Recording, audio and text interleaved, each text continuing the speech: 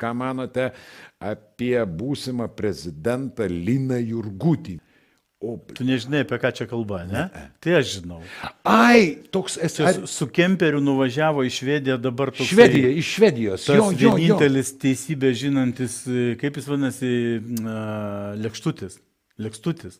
Jo, ar, Ir jis ar, dabar čia, iš jo ima interviu.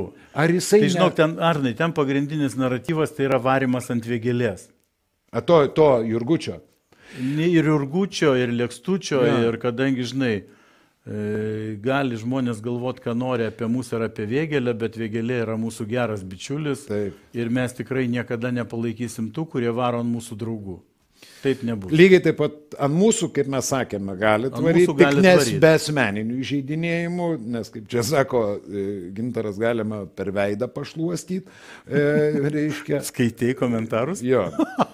Vat, e, tai lygiai tai, o čia ne tas Jurgutis, kuris tenai, kad ką mes čia sėdim dabar visi susi, čia mums reikia. Tiek, tiek giliai nežinau. Ne, bet- ne, aš kažkur prieš gerą pusmetį jį mačiau, jis pirmą kartą išėjo, kas ten buvo, kažkoks ten, ar gal prieš metus, tai jeigu čia tas Aš pats. pasakysiu labai Jisai diplomatiškai, Arnai, kuo daugiau bus kandidatų, tuo bus lengviau išrinkti nausėdą.